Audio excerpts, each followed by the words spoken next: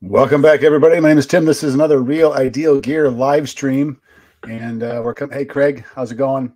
Nice to see you on time. You know, as a former teacher, you always have a special place in your heart for students who show up on time with a pencil, um, having brushed their teeth, and a few other things. But it's uh, Craig. It's nice to see you here, and we'll get started.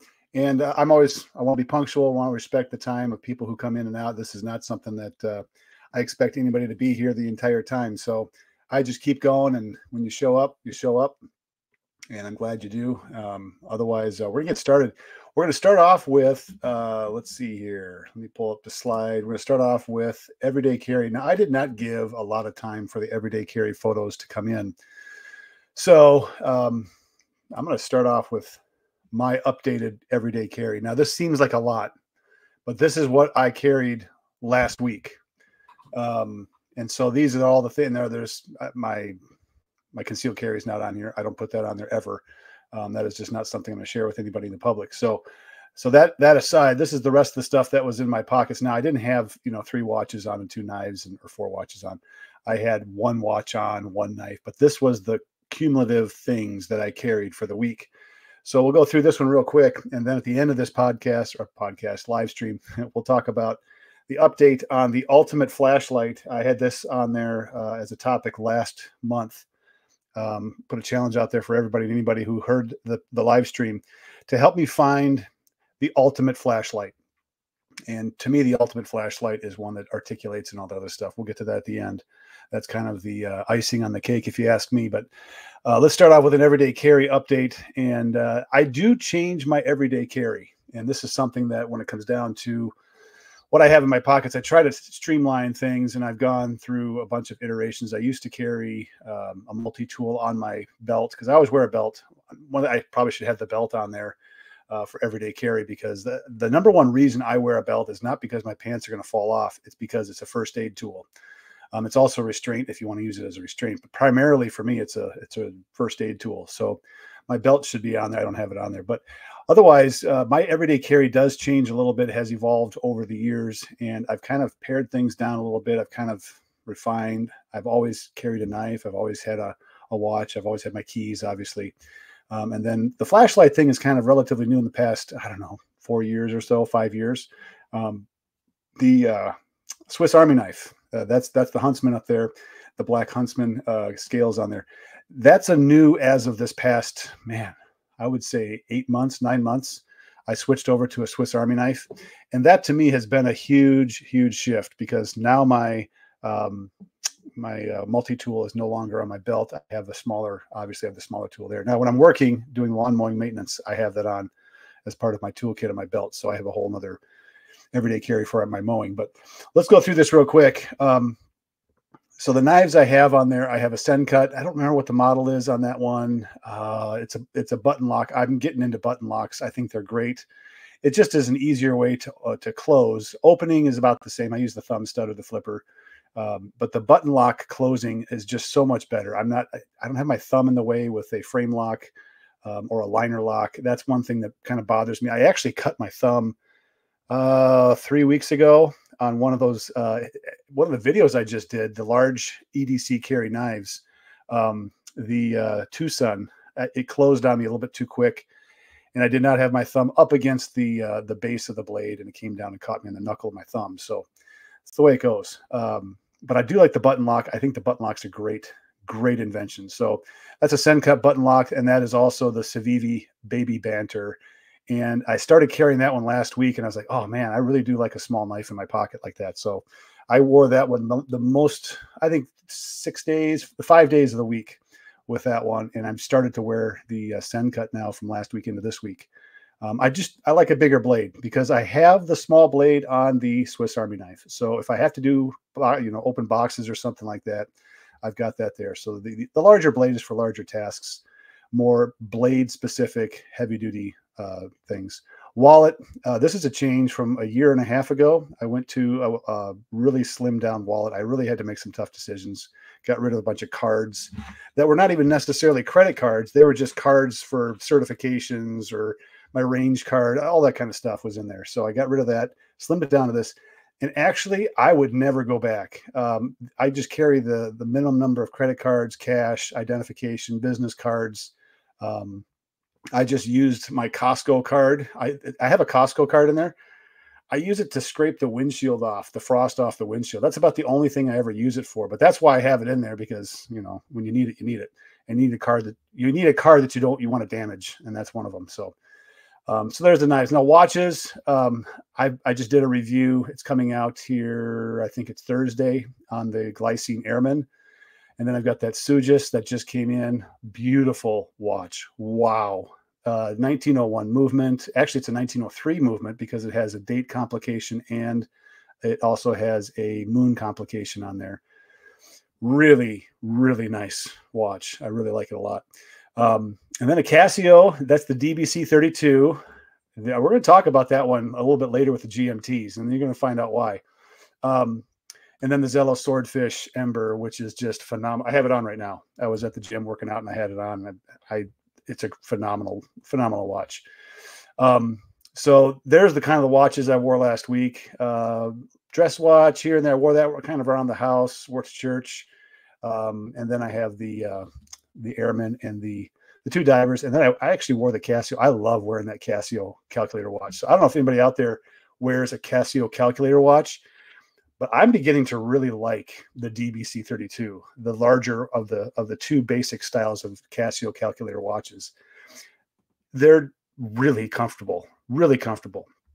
Um, and this one has a nice big display on it too, so I like that. Reviews coming up. I'm I'm going to get to that one. That you'll watch that review. It's I think it's going to be interesting. I had I bought four of them, four different types, um, and uh, we're going to go through and and do a throwdown between two of the four, and uh, yeah, it'll be fun. Um, flashlights. Okay, so this is what I carried for flashlights, and uh, we'll get to the flashlight part at the end, the ultimate flashlight. But I did carry the Acebeam at the top up there, the H6. That's one I've been carrying for a long time. I just love its magnetic base. It has the right angle uh, light on it, and the uh, the switches on the top, and it's pretty straightforward to operate. It has the uh, the two way uh, hook or the two way uh, clip on it, so you can clip it two different directions. But look at the keys. I, the key to me is on my keys, and I started to not carry the Acebeam in my pocket last week, and I was just carrying the flashlight on my keychain, which I've been carrying that for a long time. Uh, let's see here. What's the name of this? The frog. The Lumintop. Lumintop frog. I have it on my keys right next to me here. That is a phenomenal flashlight, very small, bright. It's not a thousand lumens or anything like that, but it's, I want to say it's like 400 lumens, which is for that size, it is smaller than a longer, larger size key. It is shorter than that. It is a great little flashlight. That red light that you see in the picture there, that's on all the time. So if you set your keys down in the dark, it's illuminated all the time. Now, the downside is charge that that uh, flashlight more frequently. You got to maintain it. So keep an eye on that, maintain it. But that's one that I've been carrying, and I've actually stopped carrying the Acebeam as much because it's like, why am I doing that? I've got a flashlight on my phone. I've got a flashlight here. I've got a flashlight in my truck or whatever vehicle I'm in. I've got a flashlight in there. So I, I don't need to have my pockets chocked full of flashlights. So I think I'm going to limit the times that I have the Acebeam with me. Um, and more or less, it's when I go on longer drives you know, not just running errands around town. So that to me, um, that's kind of my everyday carry for the past. Oh, the handcuffs. Forgot. yeah, that's probably one that everybody picked up on right away. The handcuffs. What the, you know, what are you doing with handcuffs? Um, as a former cop, it's one of those things. It's like I'd rather handcuff somebody than shoot them. So I do have handcuffs with me. I actually have handcuffs in the vehicles that I drive. Um, for that reason, you know, it's one of those things where uh, sometimes restraining somebody, having the right restraints for somebody who's out of control is the is probably the most important thing, rather than pulling your gun out and saying, you, you know, follow my instructions, all that stuff. So just walk up and handcuff them. Um, so I do have handcuffs. Now, that being said, notice the keys. If you have handcuffs, you better dang well have a cuff key with you, and you better know how to use the double the double lock on there because uh, you can get yourself into some serious civil problems by not knowing how to double lock handcuffs so they don't continually um, ratchet closer and closer. You can you can have some serious nerve damage on somebody who's got handcuffs on and they're not put on properly. So if you do take handcuffs with you, you you need to know how to operate them, practice them um, with a willing person, willing partner, whatever. Make sure you have the key. I have keys everywhere. All, all my keychains, I have a handcuff key. Um, I went in to change my uh, tires. I got new tires on my truck, and I I handed the guy my keys, and he looked at me and said, "Oh, cuff key, huh?" he smiles and starts laughing. I said, "Yeah, cuff key." Um, and I think he was thinking like, "Oh, in case I ever I get handcuffed, it's like, no, no, no, it's because I carry the cuffs." Um, and at the time, I was a reserve deputy too, so it was yeah, whatever. Um, so if you have the cuffs, make sure you have multiple keys in different locations. Always have them on your keychain. If you're going to be responsible to carry the cuffs, you better dang well have the cuff key. If you don't have the cuff key, you know, put the cuffs away and don't even bother with them. Um, so there's my everyday carry. Now that was last week, and this I what I what do I rotate out? I rotate out the knives. Obviously, I rotate out watches. I wear I wear a couple watches a day probably. Um, I wear specifically um, sweat ready type watches to the gym. Um, I wear dressier watches when I know I'm just casually sitting around the house or I'm going out to eat or wherever, a date, whatever, church. Um, and then the other watches kind of just kind of fill in the blanks. Um, at night, I always wear a watch that I can read at night. So whether it's a good Lume watch and I've tested it for overnight use, or it is a Casio with a good light. And there's some Casios that don't have good lights, and I'm not going to get into that because it really drives me nuts that they don't have a good light. So there is the everyday carry for me for one week, minus the conceal carry, which is another component to that. And I have a couple of options for that too. So I would highly recommend if you do the conceal carry thing, get out there, practice monthly, bi monthly. Um, you, you know, do your do, do your due diligence when it comes to conceal carry as well. And I would again, you know, you don't need to have handcuffs. You can get the uh, zip ties. Uh, those are those work well too. So uh, then you don't have to worry about keys. You just have to have a knife to to cut them off. But remember that those continually tighten down, and you can cut off circulation and do some some damage. So know what you're getting yourself into before you put them in your pocket or in your carry bag, whatever you decide to carry. So, um, and also one thing about cuffs, there's two kinds: hinges and links. Hinges are better for uh, pain compliance control by far not even not even question the chain the link ones are they're good there, there's nothing wrong with the restraint side of it but if you're you know maneuvering and, and manipulating somebody around with them it's the it's the uh the hinged ones that work the best for that all right moving on we're going to get to the gmts now any any comments or questions you go ahead and put them in the comment section i will try to catch them as we go through and we've got a few more people joining in so um, let's get into the gmts now i just put out today it actually came out today a uh, GMT kind of a primer, primer. I don't know how you pronounce it. I'm a teacher. I don't know how to pr- pronounce the word primer, primer. Um, but the GMT, let's get this a little bit bigger here. I'll take the small, the small window. I have four GMTs um, and I have a bunch of dual time. Okay, dual time is where you like Casio's basically they're digital watches where you punch in the time. Um, so GMTs generally are analog, from my experience, my knowledge on this. And when it comes down to GMTs, I think there's some important things you have to keep track of. And if you want the more detailed look at this, go to the video that that went out today. Um, and it's uh, I think very helpful. It goes through the two big types, which is your traveler GMT and your caller or office GMT. Uh, the traveler sometimes is called the true GMT. Um, and that's different, a different mechanism or different mechanism. I keep saying that now. I've got that stuck in my head. It's a different movement or caliber than the caller or office GMT. Okay. The, and the functions really come down to what happens when you are adjusting the time, the GMT hand, that they're, they're different that way. So, what I found when I the first GMT watch that I purchased, let me think back here. It was it's either the Borealis or the Nighthawk. Those were one of the, I think it was uh, I think I got the Nighthawk first. And the Nighthawk confused me. I didn't realize and it was a GMT. And if you look at the, the the Nighthawk, we'll get a single picture of it up here real quick. Um, That's not it.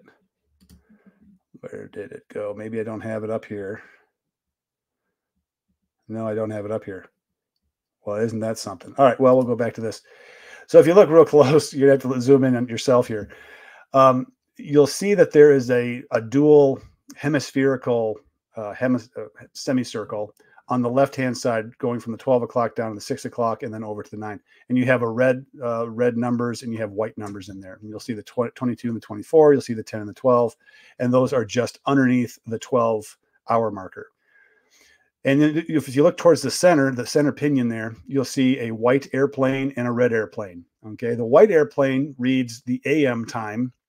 So that's if you're going 24 hour time, it's 100 hours, 200 hours, 300 hours, 1000 hours, 1100 hours, and so on. The red airplane is the after 1200 hours, which is your one, your 1300, 1400, and so on. And that's the numbering that they use. You can't see it because I didn't put the right picture up here, but that's your 24 hour time. So as the time goes around, those airplane, that one hand, it's just one hand, it's just utilizing both ends, goes around once in a 24 hour period. All right. So it can go make a full circle once. As it does that, you know, obviously 12 hours go by, then the opposite color airplane goes in there. And so you know what AM and PM is. So that was the first one that I got. And that's really, I'm explaining, that's all I knew other than how to set the time and the date, which really frustrated me because um, you turn it one way and you turn the hour hand and it only goes clockwise. And if you turn the crown the opposite direction, this is the first position. If you turn it the opposite direction, it adjusts the date, right? So it's frustrating that way, um, but it was one that I, I, liked. Then I got the Borealis. The Borealis is a Caller GMT. This is a pretty straightforward one. Um, really liked it, and uh, this was I knew about this time that my oldest son was going to be deployed overseas. I think uh, at this time, I think I knew that he was going to be deployed overseas. And so I was like, I'm going to get myself a GMT, an actual GMT that's really easy to use. So I got the Borealis, and uh, this is a caller GMT, which means that your first position on the crown, you adjust the date and the GMT hand. The second position, you adjust the hour and minute hand. And uh, so that was my second second purchase. And then I got the Lorier at the bottom down there. That's a true GMT or a, a traveler's GMT.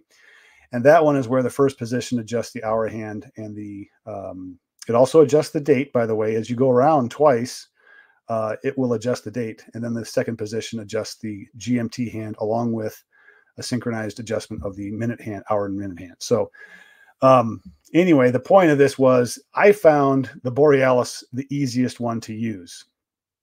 I, I got the Lorier and then I went to go set the date and I was like, man, this is this is taking forever to set the date. I have to go around and around and around. Now I was using the second position because that's what I was used to. Did not realize that the first position was a slightly faster way of doing this because the hour hand moves faster around the um, around the dial. Um, but the bottom line is is the only way to change the date is to circumnavigate the globes basically, and that is to go around and around and just keep changing the date until you get to it that's a major difference between the the traveler GMT and the caller GMT. So then I went back and I, I was using the Borealis. And I was like, wait a minute, this is way easier to set the date. Yeah, the time, the hour hand, minute hand is a little bit more cumbersome, and that that's where you're, you know, you're moving those around. But man, this is way different. So I found myself gravitating towards the caller GMT, and you'll see that in the video. I'm not going to get into all the details here, but for me, I think the GMT, and for those that are out there watching this, uh, whether it's live or you watch this after it's been published, but what I would like to know is what your preferences are when it comes down to the GMT. Do you prefer the caller GMT? Do you prefer the traveler GMT? And then the second question is my curiosity is um, what is your travel habit? What are your travel habits like? Are you traveling a lot of the time? Are you traveling little? For me, I don't really travel much out of the uh, the Western time or the Mountain time zone in the United States. So I may go back to the Central time zone um, and maybe occasionally go into the uh, Pacific time zone because, frankly, the Pacific time zone is like two and a half hours away. So if I go west at all, um, you go through Idaho, which is the Panhandle, and and you're into the, the Pacific time zone. So I I do get a little bit of that, but to me, that's not GMT worthy. I mean, I can figure out what the central time zone is and what the Pacific time one an hour minus an hour. That's not a big deal. Um, but I'm curious for those that, that choose the caller or the traveler GMT.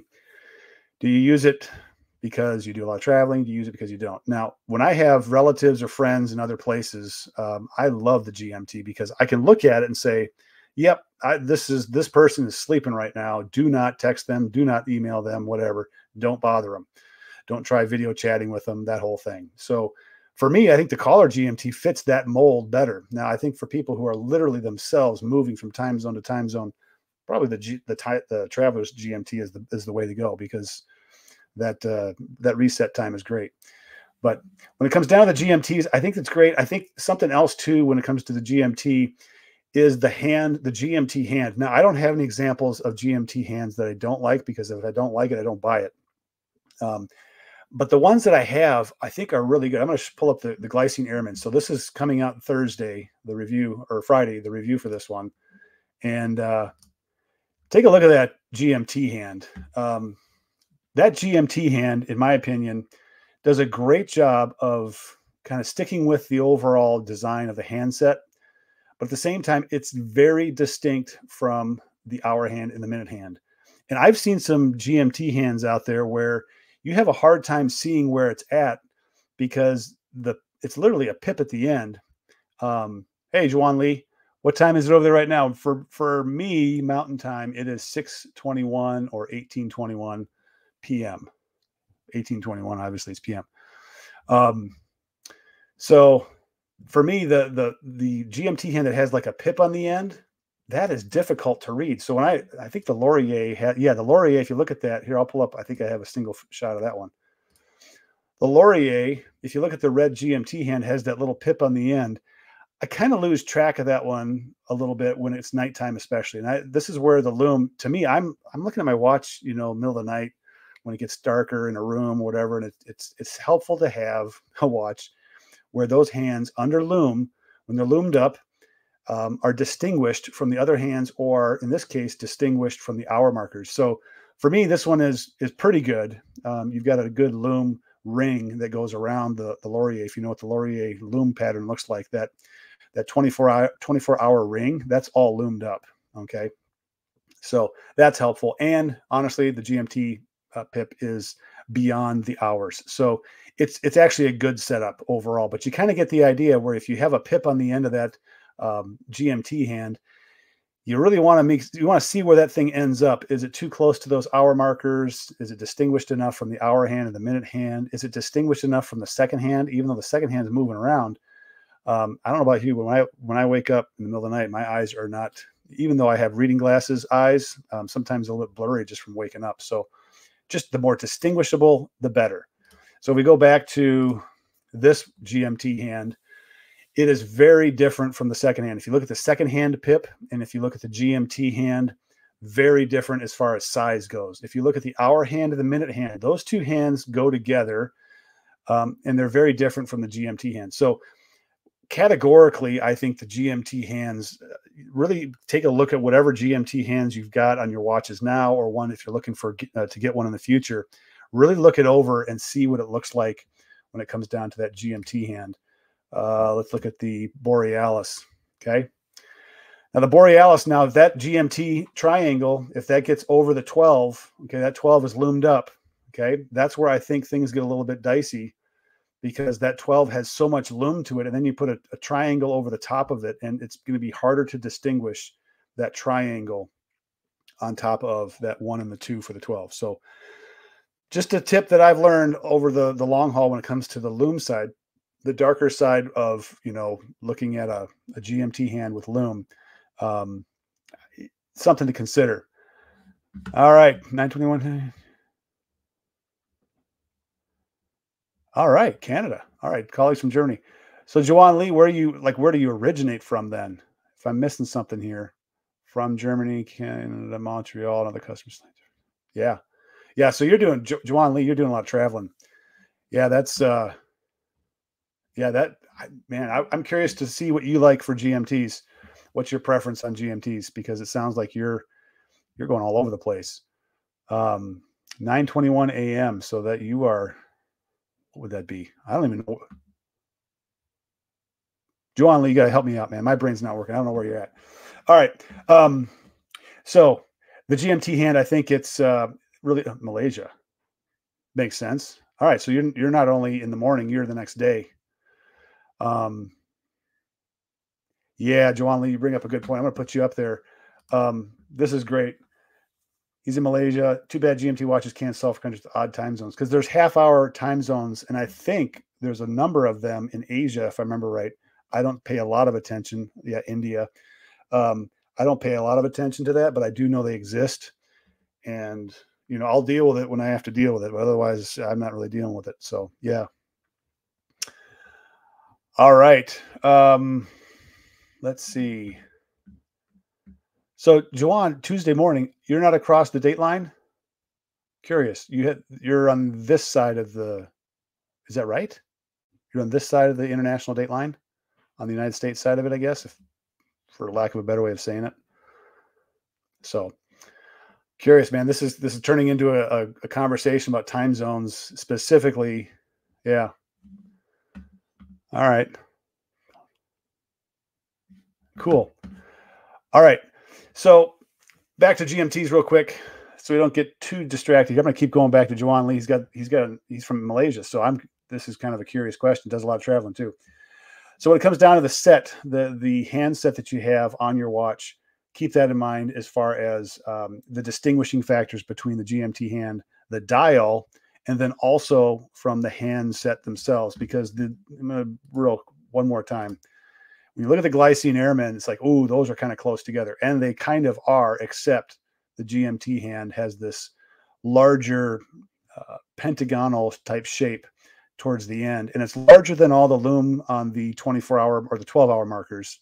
So that's a distinguishing factor there. So when I look at this watch at night, I can definitely tell which hand is which. Um, and then of course the second hand is always moving. So it's, that's not a huge issue. And the, the pip on it is kind of small too. So, um, anyway, all right.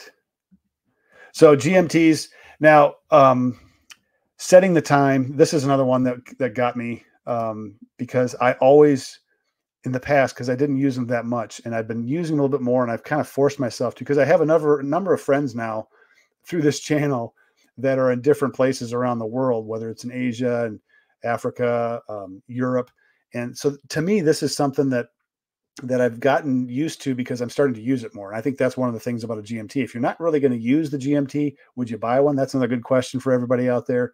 If you don't really plan on traveling, if you don't have friends or family that are really that far away from you, is a GMT really something you, you want to buy, or is it more of a? It's just a great looking movement. It's it's kind of cool. I can do, you know, uh, UTC time if I want. Um, okay, great.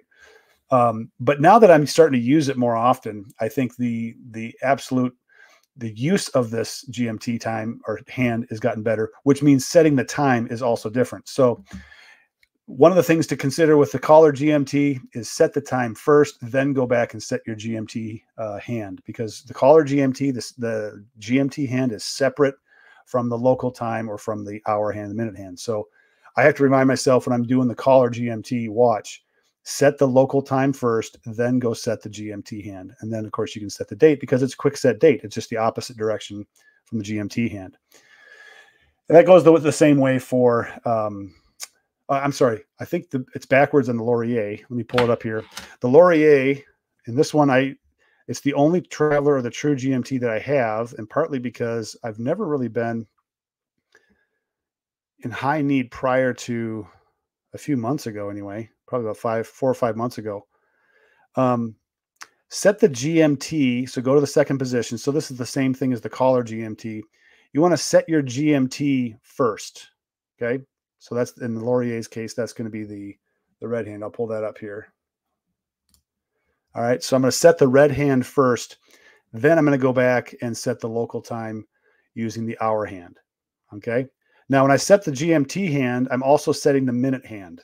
Okay. Remember, the first position on a true GMT is only moving the hour hand. That's the only function in the first position is to move the hour hand. It also does the date too. If you're going around twice, you're going to change the date. Um, which reminds me that if the date is really important to you, like make sure you get that date right. You know, as you're spinning around, whether it's the first position or the second position, um, you can set the date with either one of those. Um, it's faster to do with the first position, but as far as the order goes for the caller GMT and the Traveler GMT, go through and set the time or set the GMT, the second position on the Caller GMT, uh, set the time first. So that's the that's the order to go as, as far as I know. So second position and then first position. That's the, the easy way to do it. All right.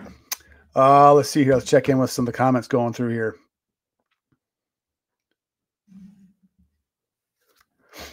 All right. So GMTs, I like them. I think it's something that, uh, oh, and I haven't finished. I got to talk about the, the Nighthawk too, because the Nighthawk is is different. Um, but the GMT, I think, is something that grows with you. It, it uh, you'll find uses for it, and I think it's important too because as you start looking at things around the world that are happening, um, kind of a curiosity, just set the time on the GMT hand and keep track of it for two, three weeks, and then switch to another time zone. Keep track of that area of the world. I think it's a, it's a great way to kind of get used to geography as well. Sometimes we get caught in our own little geo bubble. Um, and the GMT hand can kind of open that bubble up for you a little bit. All right, let's talk about the Nighthawk real real quick. It, I don't have the single picture of it, so we're gonna go back to this cluster. Um, but the Nighthawk, the Nighthawk, there's two positions on the crown, just like the other analog watches. The first position, you're going to adjust the hour hand only. Okay. And the hour hand only goes clockwise. It does not go both directions. On a true GMT, it goes both directions in the first position. On, a, on the Nighthawk, it only goes clockwise. If you turn the crown the opposite direction in the first position, you adjust the date. So you get the best of both worlds here. The Traveler GMT, you've got to spin that sucker around like a roulette wheel to get the date. So let's say it's set on the 23rd, but it's actually the 22nd. You have to go around 31 days or 30 days to get back to the 22nd. Okay. So first position on the Nighthawk does the hour hand clockwise only, and then it does the date the date window going the opposite direction with the crown. The second position, you adjust the GMT and basically your minute hand. That's what you're adjusting. Um, so it's really the best of both worlds. You get the caller GMT easy date set, and you get the traveler GMT, um, the uh, hour hand moving around. And I got to double check because I think, I don't think I should say that if you go around twice with the hour hand, I don't believe it changes the date. And I'm wrong. It does. Okay. So it does work just like the Traveler GMT. But you can go back because you can go back the opposite direction with the crown and you can change the date. So even if you mess up the date while you're doing that, you can just turn the crown the opposite direction and go back and correct the date.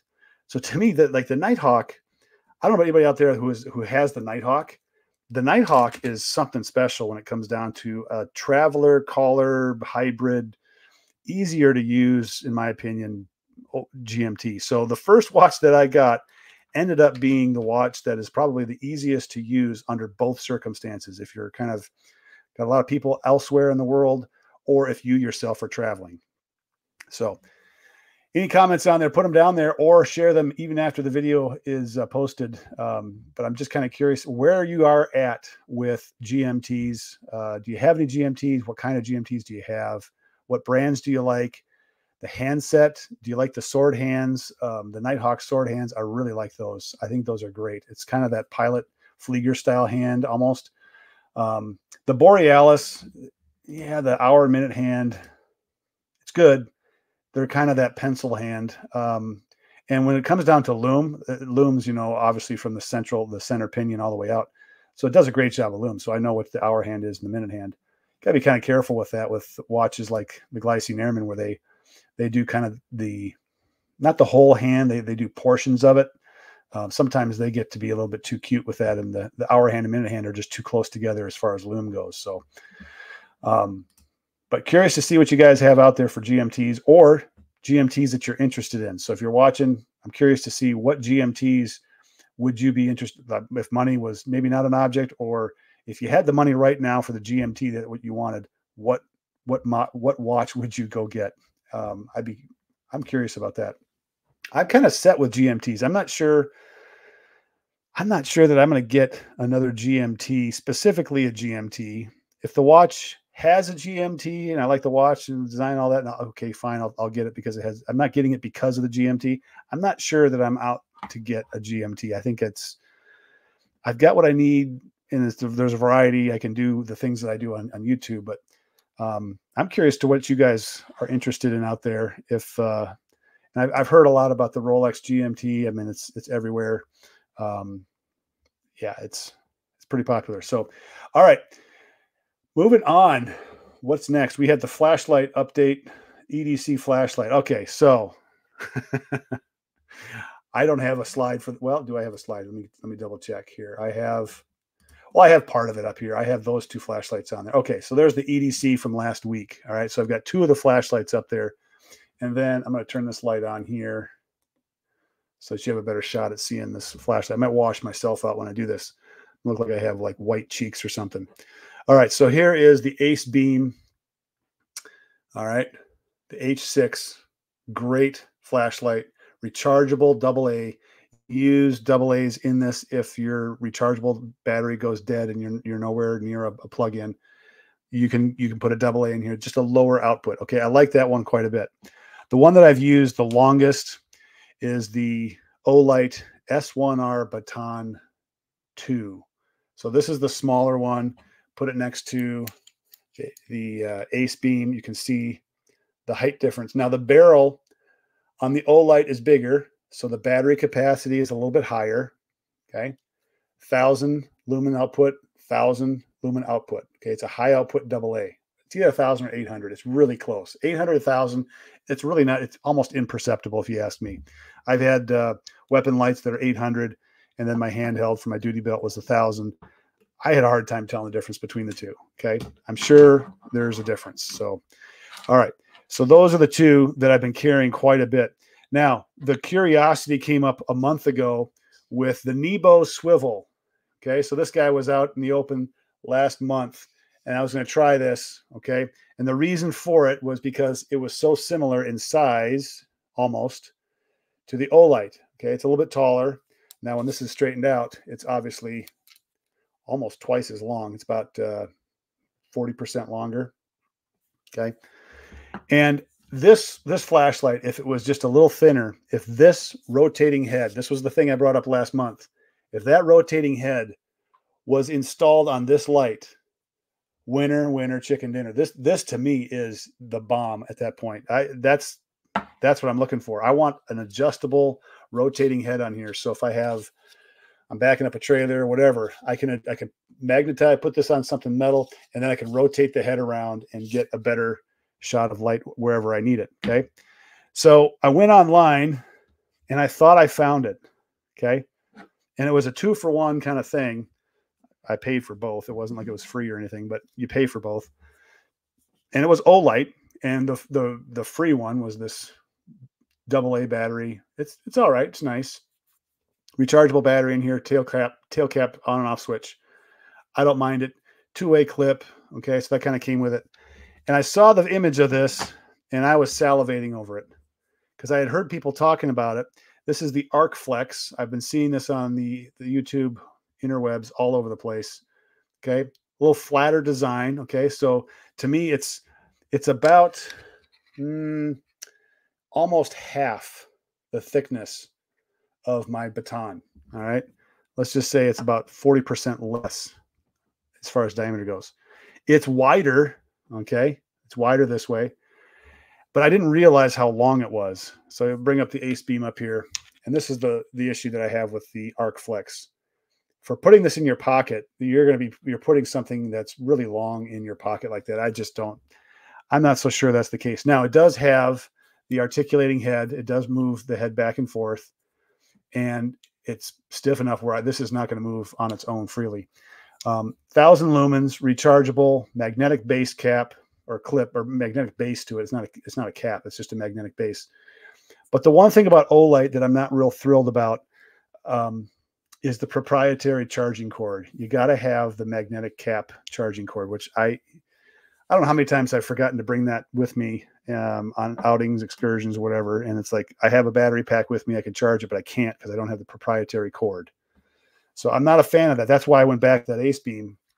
This is kind of the cat's me out. If they could get this to articulate, that would be an awesome setup. Um, all right, we got some stuff going here. Nice. Oh, okay, nice. Yeah, changing the diving bezel to a 24 hour marking bezel. Yeah, easy easy way of doing that. And that was before I got the, an official GMT. I had the the Nighthawk before I got the official GMT. That was exactly my strategy, Juan. I was looking for that. I wanted a 24 hour bezel that you could rotate around. Um, yeah, cool. All right, then I got two watch from my.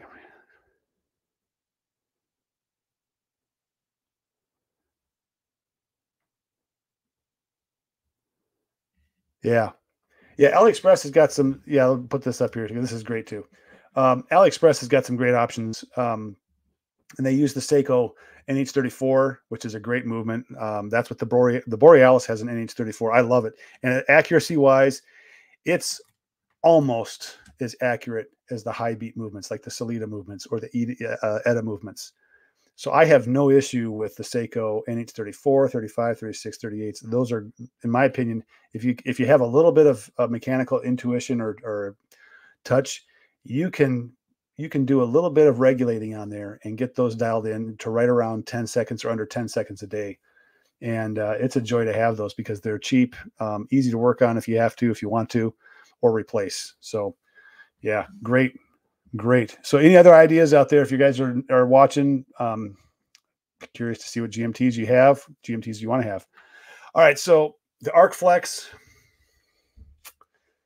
I don't know about this. You know, um, I thought when I when I heard about it and I looked at it, I thought this kind of flat design was going to be the design for an EDC flashlight. The issue is it's wider. You know, you don't give up a lot, um, or you don't gain a lot when you when you go with something like this.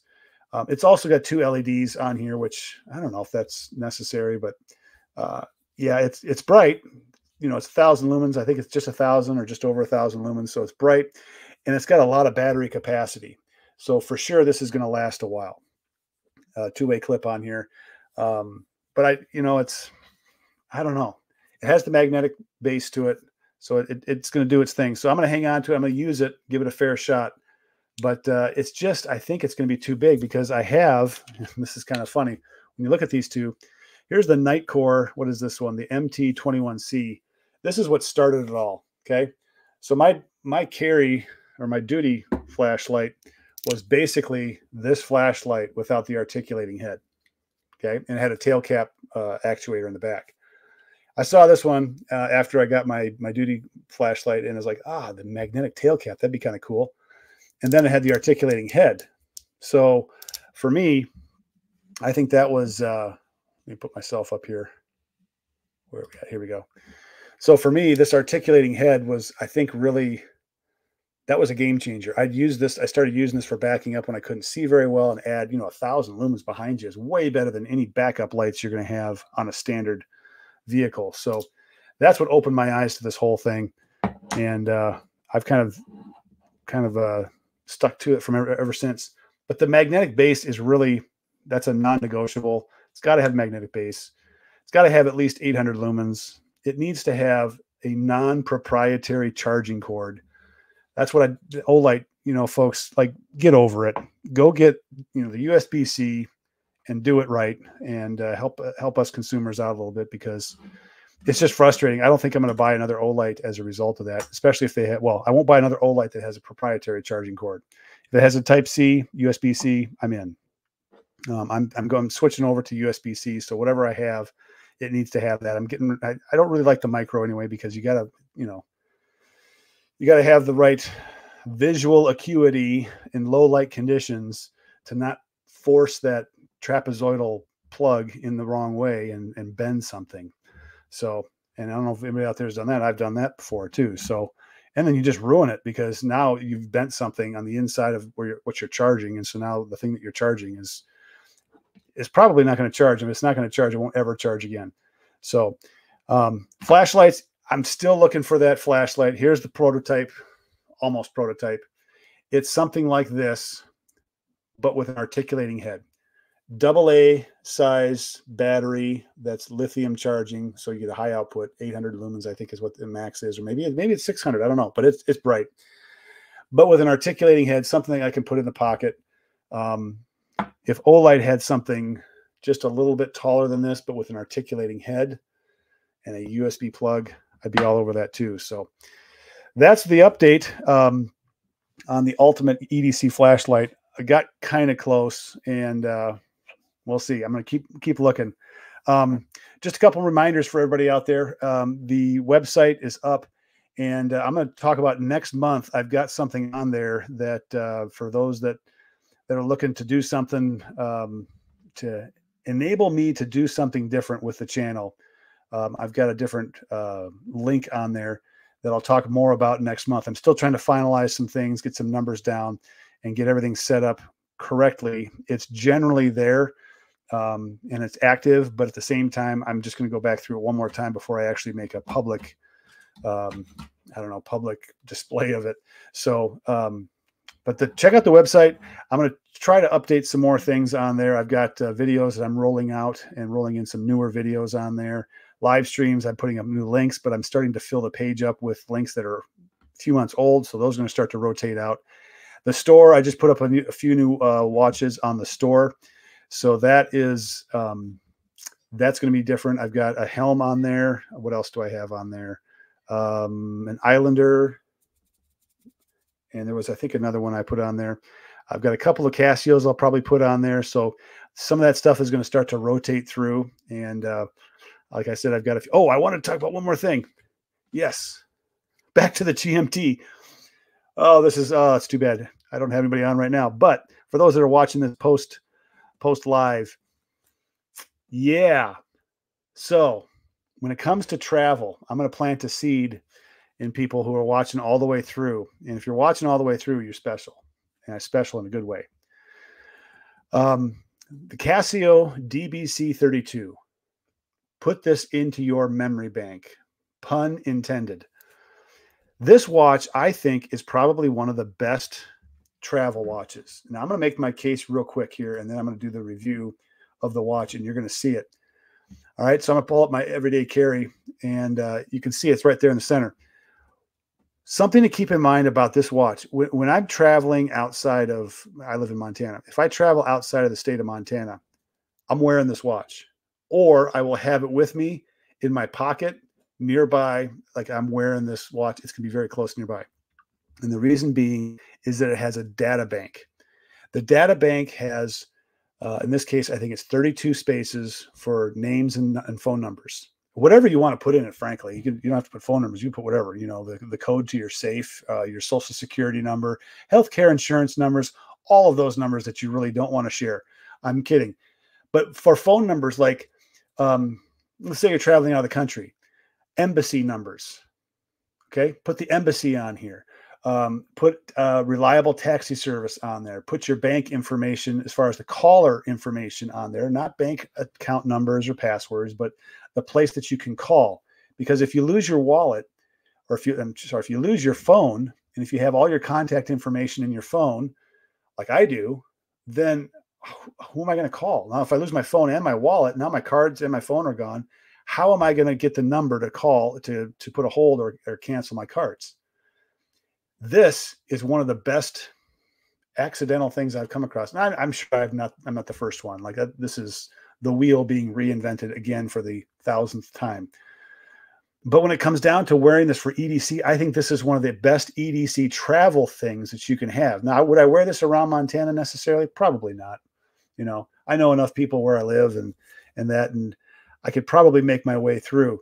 Um, but when I'm traveling out of state or if I'm traveling out of country, I am definitely having a watch like this. Now I have two of these. I have an HDC 700 which is a little bit more of a G-Shock looking deal, analog digital. Okay, but you this is a data bank, HTC data bank. All right, DBC 32, another data bank. So a little bit of a spoiler on what's coming up with the uh, the Casio calculator watches. I've got uh, I've got a couple of them coming up, and uh, it's it's going to be fun. But as far as travel goes, and I was talking, we were just talking about uh, you know GMTs, you also have dual time. So you've got the data bank and you've also got dual time. So now the downside, no water resistance whatsoever. Like you don't even want to wash your hands with this. Now, the reality is if, if you get splashed a little water on here, I think you'll be fine. But the the code from or the code, the uh, instructions from Casio is no water at all. Okay. So bummer. Now, um, but I think for travel, it's going to be hard not hard not to, for me not to bring this watch, uh, this or the other one, um, because of the insurance numbers for my business insurance, um, health insurance, and th- these are phone numbers by the way. Health insurance. Um, what else? Oh, local law enforcement. If you're going some, let's say you're going out of country and you you need to call local law enforcement, your phone is gone, have the local uh, law enforcement number on there. Um, there's a whole bunch of things bank phone numbers, um, credit card phone numbers, uh, embassy phone numbers, um, friends nearby. If you have, let's just say that you're not going to go visit them, but you just you enter those names in there so that you have a way of contacting somebody if you're traveling out of state, like you're traveling from Montana to who knows Iowa. Um, if you have any friends or relatives in Iowa, put their phone numbers in there. Um, that kind of thing. So I think as far as travel goes, that's a that's a huge plus. So all right, we're going to wrap this sucker up and uh, put the comments down below if you're watching this post live stream. Uh, what kind of GMT watch do you like? Um, what kind of movement are you preferring? Uh, ideas like that. Any other EDC stuff? Just a reminder out there. Send me EDC photos of uh, whatever it is that you carry in your pockets, or maybe it's just your watch, whatever. Um, I think it's just cool to see other ideas that are out there. And uh, if you go get handcuffs, make sure you get the key and practice, practice, practice, practice on a willing participant. All right. With that, we'll catch you guys later. We'll see you next time.